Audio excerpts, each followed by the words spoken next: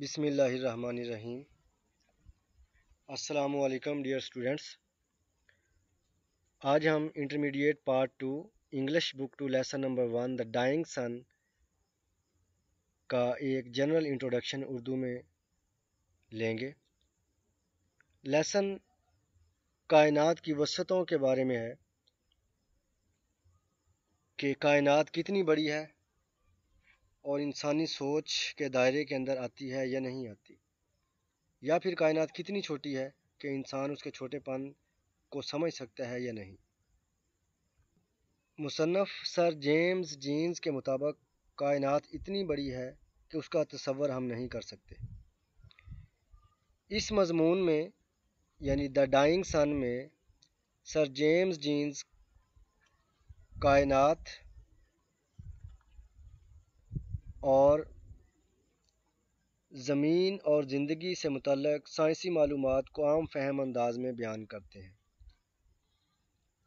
इसमें ऐसे सवाल को ज़ेर बहस लाया गया है, जिनके बारे में मुख्तलिफ़ मज़ाहब और साइंसी अलूम मुख्तलिफ़ नुक़ नज़र रखते हैं।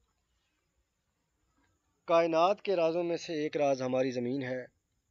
कायनात बहुत बड़ी है, इतनी बड़ी है कि इस कायनात में हमारी ज़मीन का वजूद रेत के एक ज़र्रे के दस लाखवें हिस्से के बराबर है। और कायनात की हद कहाँ पर जाकर ख़त्म होती है, ये तस्वर करना हमारे लिए मुहाल है। यानी कायनात इनफिनट है, लामहदूद है। इसकी वसतों का अंदाज़ा लगाना इंसान के बस की बात नहीं है। एक एक सितारा दूसरे सितारे से लाखों करोड़ों किलोमीटर फासले पर है, जिसको मापना हमारे बस में नहीं है। इवन कि हमारी अपनी गलेक्सी जिसे मिल्की वे कहते हैं, उसके एक किनारे से दूसरे किनारे तक अगर रोशनी की स्पीड से जाया जाए तो लाखों साल लग जाएँगे। मुसन्फ़ के मुताबिक कायनात की वसत लामहदूद है।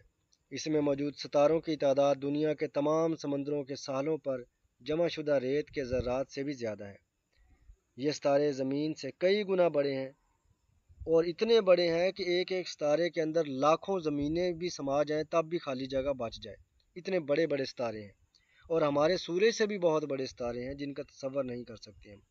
और वो और वो कुछ सितारे जो हैं, कुछ ग्रुप्स की शक्ल में कायनात के अंदर फिर रहे हैं, तैर रहे हैं गलेक्सी के अंदर, गलेक्सीज के अंदर, या फिर कुछ तनहा सफ़र करते हैं। तो कायनात बहुत बड़ी है। जैसे कि आपने ये वीडियो में भी देखा है कि इसका तस्वर नहीं कर सकते। गलेक्सीज़ और गलेक्सीज़ के झुरमट और फिर आगे एक बहुत बड़ी कायनात अल्लाह ताला ने तख्लीक की है, जिसकी वसतों का अंदाज़ा नहीं लगाया जा सकता। इसी तरह अगर कायनात के छोटे पन तक आएँ तो इंसान के एक एक खलिए में मौजूद सफ़ेद सेल्स के अंदर जो एटम्स जिन एटम्स ने आपस में रिएक्शन करके मिलकर मालिक्यूल्स बनाए और मालिक्यूल्स से आगे फिर मुख्तलिफ़ ऑर्गन्स बने। तो एक एक एटम जो है वो मिलकर मुख्तलिफ़ चीज़ें बनाता है। तो एक एटम की क्या वैल्यू है और वो कितना छोटा साइज़ है, वो भी उस, उसको भी जानना मुहाल है। एटम इलेक्ट्रॉन प्रोटॉन और न्यूट्रॉन से मिलकर बनता है। इसके अलावा भी सौ किस्म के और कई पार्टिकल्स हैं जो एटम में मौजूद होते हैं, जिनको जानना, उनकी खासियत को मालूम करना अभी इंसान के बस में नहीं है। लेकिन इंसान अपनी अकल को इस्तेमाल करते हुए जितना हो सकता है साइंसी बुनियादों पर उसको परखने की कोशिश करता है।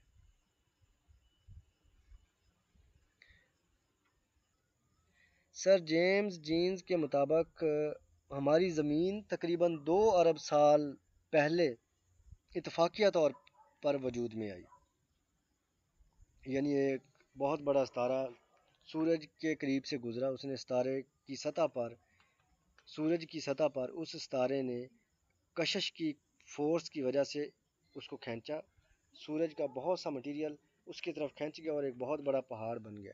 दूसरे सितारे के परे जाने से पहले वो पहाड़ मुख्तलिफ़ टुकड़ों में टूट कर सूरज के गिरद बिखर गया और वो टुकड़े आहिस्ता आहिस्ता ठंडे हो गए, जिनमें से, जिन ठंडे होते हुए टुकड़ों में से एक टुकड़ा हमारी ज़मीन है, जिसने वक्त के साथ साथ फिर ज़िंदगी को पैदा किया। तो ज़मीन उन ठंडे होते हुए टुकड़ों में से एक है मुसन्फ़ के मुताबिक। और भी कई सारे तारे सियारे हमारे निज़ाम शमसी में मौजूद हैं।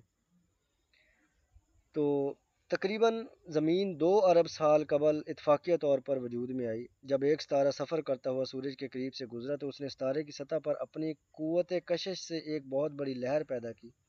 जब यह सितारा सूरज से दूर जाने लगा तो मद जज़र का खिंचाव इस कदर ज़्यादा हुआ कि सूरज की सतह का एक हिस्सा उससे अलग हो गया और मुख्तलिफ़ टुकड़ों की शक्ल में, खला में बिखर गया। ये टुकड़े उस वक्त से सूरज के गिर्द घूम रहे हैं। इन्हें स्यारे कहा जाता है, इन टुकड़ों को। हमारी ज़मीन भी इनमें से एक है। इब्तदा में ये स्यारे सूरज की तरह बहुत ज़्यादा गर्म थे, लेकिन वक्त के साथ साथ ठंडे होते गए।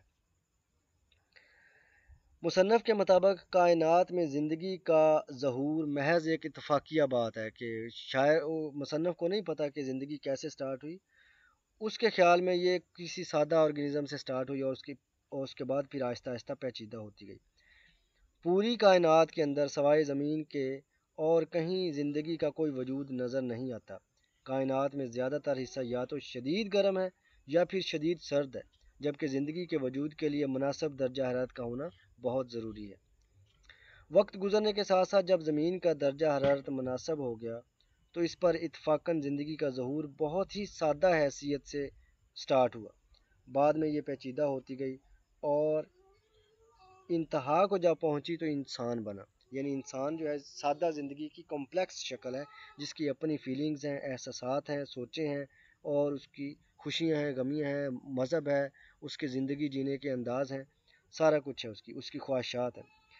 तो पूरी कायनात के मुकाबले में ज़मीन और इंसान की हैसियत सर जेम्स जीन्स के मुताबिक बहुत ही मामूली है।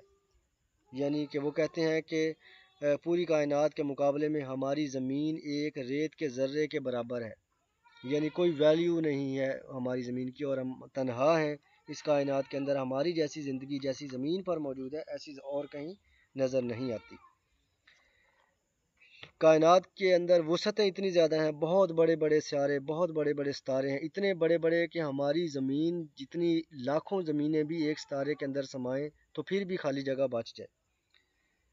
तो ऐसे लगता है जैसे हमारी कोई हैसियत ही नहीं है इस कायनात के अंदर। तो एक हमारे अंदर जब हम ऐसा सोचते हैं कि हम तनहा हैं कायनात के मुकाबले में और कोई ज़िंदगी ही नहीं ज़मीन के अलावा।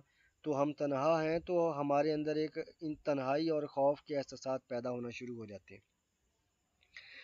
तो आ, सर जेम्स जीन्स के मुताबिक ज़मीन का वजूद इंतहाई गैर मामूली सा है कायनात में। कायनात बहुत बड़ी है जैसा कि आप तस्वीर में देख रहे हैं कि कायनात इतनी बड़ी है जिसका तस्वर करना इंसान की सोचों सोच जो है वो वहाँ तक नहीं पहुँच सकती कि कायनात अल्लाह ताला ने कितनी बड़ी तख्लीक की है।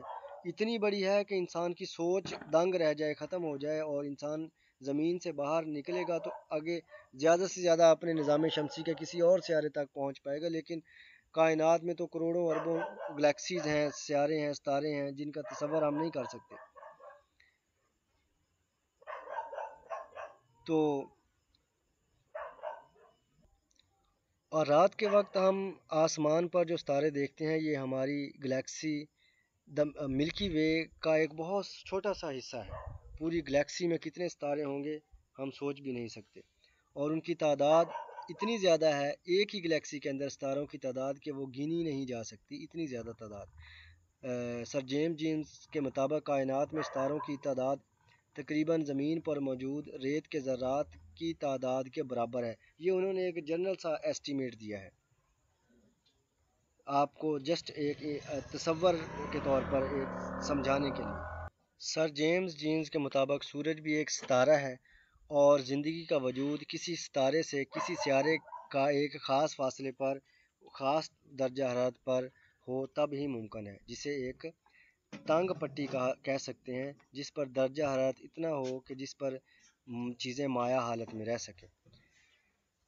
तो ये हमारे फ़र्स्ट लेसन का एक जनरल सा इंट्रोडक्शन था। इन हम लेसन की ट्रांसलेशन अपने नेक्स्ट वीडियो में हम, अपने लेसन की lesson number one, the dying sun की ट्रांसलेशन करेंगे।